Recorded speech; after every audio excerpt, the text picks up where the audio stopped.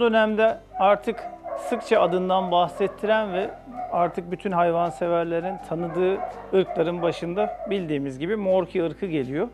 Morki ırkında da e, çok sınırsız ve sayısız bir renk skalası var. Yani Morki ırkının e, işte iki renklileri, üç renklileri, kahve beyazları, sarı beyazları, siyah beyazları, siyah kahve beyazları gibi e, sınırsız bir renk skalası var Morki ırkında.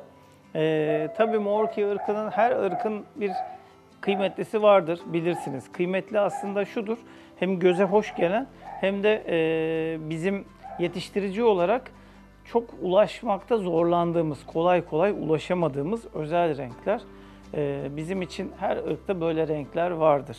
İşte Alman kurdunun e, kızıl tonunun çok koyu olmasını isteriz. O çok kıymetlidir. Veya işte beyaz Alman kurdu çok nadirdir, hiç bulunmaz gibi. İşte e, Poodle ırkındaki o red brown'un inanılmaz güzelliği, red brown rengi veya çok nadir olan chocolate rengi gibi. E, Labradorların o chocolate labrador gözlerinde e, ela olduğu.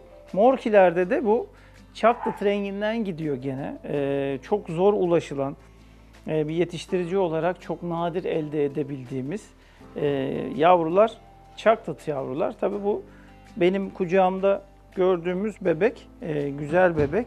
Chocolate beyaz rengi yani o bizim yetiştirici olarak çok zor ulaştığımız renge sahip bir bebek. E, bu rengi kızılla karıştırmamak lazım. Burada da kızıl bir yavru görüyoruz. Bu da tabii çok güzel surat olarak, renk olarak.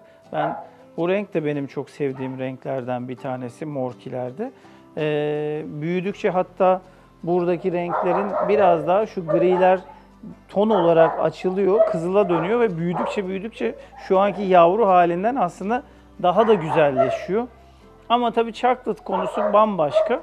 Ee, kızıla ulaştığımızdan da çok çok daha zor ulaşıyoruz morkiler. Bildiğimiz gibi morkiler Yorkshire'lar ve e, Maltizlerin birleşiminden oluşuyor. Ve e, Yorkshire'lar da ağırlıkta bildiğimiz gibi siyah ve kızıl renkte yani siyah kızılın birleşiminden oluştuğu için o rengin içinden bir e, chocolate çıkması herhalde olasılık hesabı yapsak böyle binde birlere falan denk gelebilir. E, ama bu chocolate rengi bebeğimiz işte o binde bir olasılıkla doğmuş chocolate beyaz. Bu çaklıtlardaki en önemli özelliklerden bir tanesi de burnunun kahverengi olması ki aslında ona çok da özel bir hava veriyor. Yani e, burnu mesela siyah olsa o derece surattaki sempatiklik olmayacak. Ama o burundaki kahverengilik ona inanılmaz ekstrem bir hava veriyor. Ha bazen bu tabii biz kahverengi burunları e, başka renklerde de yakalayabiliyoruz. Mesela e, normalde burnun biliyorsunuz olması gereken rengi siyah renktir. Nasıl ki bu bebeğimizde de burun siyah. Olması gereken de budur zaten. Ama e, nadiren bazen e, chocolate kırmızı burunlar çıkabiliyor.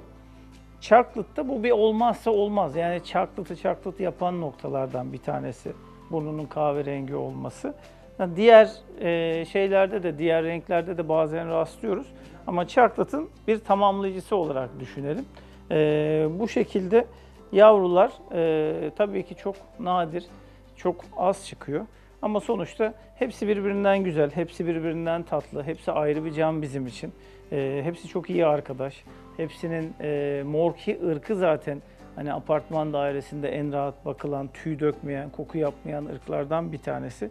Hepsi birbirinden güzel ama benim bu aralar ciddi şekilde favorim de chocolate beyazlar.